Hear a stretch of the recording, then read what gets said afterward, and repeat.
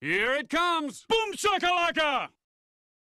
Boa tarde, amigos e amigas. Cá estou eu novamente para mais um vídeo. Vocês viram aí que dois dos meus três últimos vídeos foram os melhores jogadores do Celtics de todos os tempos e os melhores do Lakers de todos os tempos. Vocês podem imaginar que eu iria continuar fazendo isso com todos os times. Sim, eu vou continuar, mas o tema desse vídeo não é um time, e sim um continente. Eu vou mostrar a seleção dos melhores jogadores africanos que disputaram ou disputam a NBA atualmente, jogadores nascidos na África. E eu quero fazer um parênteses aqui que vocês vão ver jogadores que não jogam por seleções africanas, pois são naturalizados, mas eu decidi fazer com jogadores que nasceram no continente africano até para me dar mais opções. Se eu for pegar apenas os jogadores que defendem seleções africanas, essa minha gama de jogadores estaria muito pequena, seria impossível até completar um time com todas as posições. Então vamos lá. Poucas pessoas sabem, mas ele é nascido na África do Sul, ninguém mais, ninguém menos que Steve Nash, ele é naturalizado canadense, ele começou jogando no Phoenix Suns, foi pro Dallas Mavericks, voltou para o Phoenix Suns, onde ele teve a época mais bem sucedida da carreira dele. Ele é um jogador que foi duas vezes MVP, ele disputou oito All-Star Games, ele foi cinco vezes líder da NBA em assistências, fora o que tá aparecendo aqui na tela, ele ficou três vezes no All-NBA First Team, ele foi quatro vezes do clube dos 50, 40, 90, que são aqueles jogadores que conseguem 50% de field goal, 40% de três pontos e 90% de lances livres. Isso só aconteceu 11 vezes até hoje e o Steve Nash conseguiu 4 dessas 11 para ver como ele era um bom arremessador. Ele tem a camiseta número 13, aposentada pelo Phoenix Suns. Então, Steve Nash, obviamente, é o armador da minha seleção dos nascidos na África. O meu outro armador será um ala meio improvisado de armador, pois que nem eu falei, são poucos jogadores em determinadas posições que nasceram na África e armador é uma delas. Eu vou improvisar o Luol Deng, ele que tem como posição de origem small forward, eu vou colocar ele aqui de shooting guard no meu time. O Luol Deng, ele é naturalizado inglês, ele nasceu na cidade de Wou, no Sudão, que hoje faz parte do Sudão do Sul. O Luol Deng, ele foi duas vezes All-Star, ele foi duas vezes líder da NBA em minutos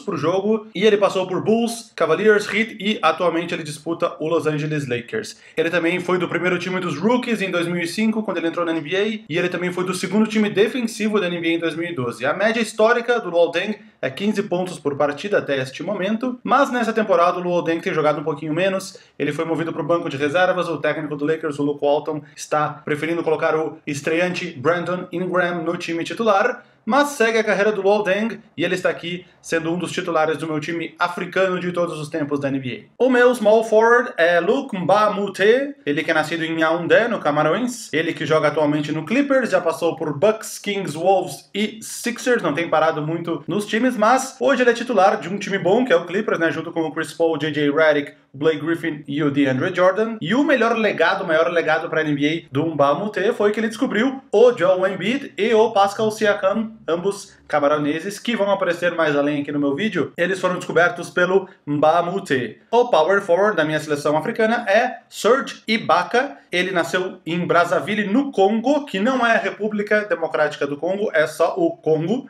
e ele é naturalizado espanhol. Nos campeonatos da FIBA ele joga pela Espanha e inclusive ele foi medalha de prata nas Olimpíadas de Londres em 2012. Ele jogou no Thunder até ano passado, passou um tempinho no Magic e agora ele acabou de entrar no Toronto Raptors. O Ibaka ele foi duas vezes líder em bloqueios na NBA, 2012 e 2013 e ficou três vezes no primeiro time defensivo entre 2012 e 2014. Dentre todos os jogadores da NBA em atividade, ele é o que tem a melhor média de tocos por partida com 2,4. Para finalizar o meu time titular, Hakim Olajuwon. Ele é nascido em Lagos, na Nigéria, ele é naturalizado americano.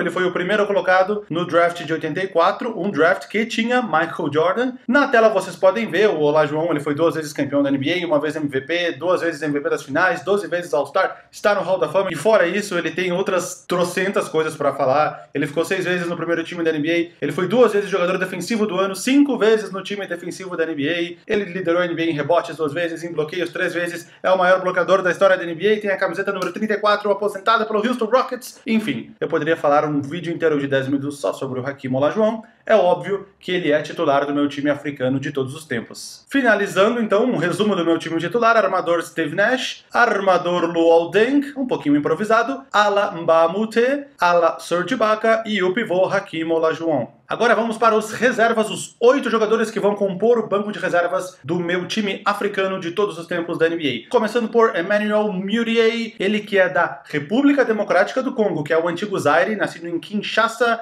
O Mudiay estreou na temporada passada pelo Denver. Ele está na sua segunda temporada, ele foi a sétima escolha no draft de 2015. Dos 115 jogos que ele jogou até agora, 107 ele foi titular. E no ano passado ele esteve no segundo time dos rookies da NBA. O meu próximo armador foi difícil de encontrar, porque são pouquíssimos armadores nascidos na África que chegaram até a NBA. Mas eu pesquisando, cheguei a Mike Flynn, ele que nasceu em Casablanca, no Marrocos, e é naturalizado americano. Ele foi a centésima décima terceira escolha no draft de 75, existia isso naquela época. Ele jogou três temporadas pelo Indiana Pacers, uma na NBA e duas na NBA, com um total de 211 jogos. Um dos meus alas do banco de reservas, conforme eu falei, é Pascal Siakam, camaronês também, ele que foi descoberto pelo Mba Mute. Ele estreou nessa temporada na NBA, 27ª escolha no draft. Até este momento que eu gravo o vídeo, ele já jogou 49 jogos, 38 deles como titular. Agora, com a chegada do também africano Serge Ibaka para o Toronto Raptors, ele perdeu um pouco de espaço e vem entrando do banco. O outro ala do meu banco é Gorgie Jang, ele que está no Minnesota Timberwolves desde 2013, foi a 21ª escolha naquele draft. Desde então, 278 jogos, sendo 166 como titular. O Gorgie Jang, ele ficou no segundo time dos rookies da temporada 2013-2014, quando ele estreou, e inclusive em março de 2014 ele foi escolhido o rookie do mês da Conferência Oeste. Daqui para frente, até o final do meu vídeo, só vão ter pivôs, vão ser quatro pivôs que vão completar esse banco de reservas, porque tem um número muito grande de pivôs africanos na NBA, ao contrário dos alas e, mais ainda, dos armadores que são pouquíssimos. O meu próximo é Joel Embiid, eu que já fiz um vídeo sobre ele, sobre como ele já teria ganhado o prêmio de Rookie do ano com alguns meses de antecedência. Infelizmente, ele teve uma lesão que vai deixar ele de fora do resto da temporada. A NBA se pergunta se os 31 jogos que Joel Embiid jogou até hoje são suficientes para ele ganhar o prêmio de Rookie do ano. Isso é uma questão que está em debate na NBA. O Joel Embiid foi a terceira escolha no draft de 2014, demorou dois anos para estrear e, que nem eu falei, só jogou 31 jogos esse ano. Mesmo assim, ele já ganhou três vezes o prêmio de Rookie do mês, novembro, dezembro e janeiro, e uma vez de jogador da semana, não apenas entre os rookies, mas entre todos os jogadores. O segundo dos quatro pivôs do meu banco de reservas é Manute Ball, nascido no Sudão, que hoje é o Sudão do Sul. O Manute Ball, ele tem 2 metros e 31, ele é o jogador mais alto da história da NBA, junto com o George Muresan. O Manute Ball defendeu Bullets, Warriors, Sixers e Heat entre 85 e 95. Ele liderou duas vezes a NBA em bloqueios, ele teve uma vez no segundo time defensivo, além de ser o primeiro jogador na história da NBA em bloqueios por 48 minutos, né? Que é uma estatística corrigida, porque alguns jogadores jogam mais minutos no jogo, alguns jogam menos. Se todos jogassem os 48 minutos, a média do Manute Ball de 8,6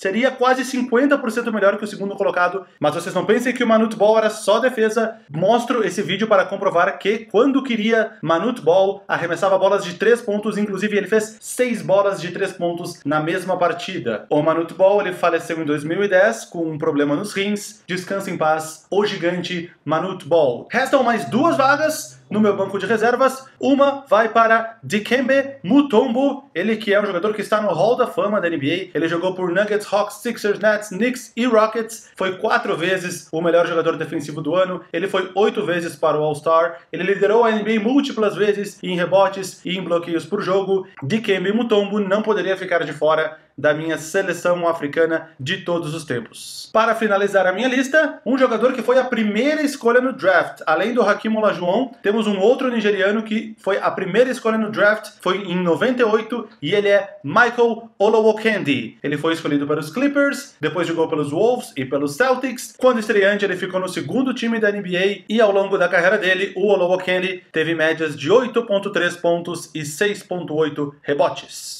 Então é isso, essa é a minha seleção africana de todos os tempos. Vocês podem ver na tela os 13 convocados. Vários jogadores ficaram de fora, alguns mais emblemáticos, como por exemplo o Didier Mbenga, que foi bicampeão pelos Lakers em 99 e em 2000, o Ala Abdel Nabi, o único egípcio a jogar na NBA, e inclusive ele é o primeiro jogador da história da NBA na ordem alfabética. Essa é uma curiosidade bem inútil. Quem mais? O Festus Ezeli, que hoje está no Portland Trail Blazers e foi campeão pelo Warriors dois anos atrás. Tem o Thon Maker, que hoje é titular do time do Milwaukee Bucks. Tem o Bismack Biombo, que joga no Orlando Magic. Enfim, teríamos algumas outras opções para esse time. Eu escolhi esses 13, então escrevam aqui nos comentários o que vocês acharam. Se vocês se lembrarem de algum outro africano que eu não coloquei aqui que é relevante, podem colocar nos comentários. Eu fiz uma pesquisa bem extensa para não deixar ninguém de fora, mas pode ter passado algum grande jogador africano que eu acabei me esquecendo de colocar no vídeo. Valeu quem assistiu mais uma vez, sigam dando joinha e sigam comentando os meus vídeos e nos vemos no próximo vídeo. Um grande abraço.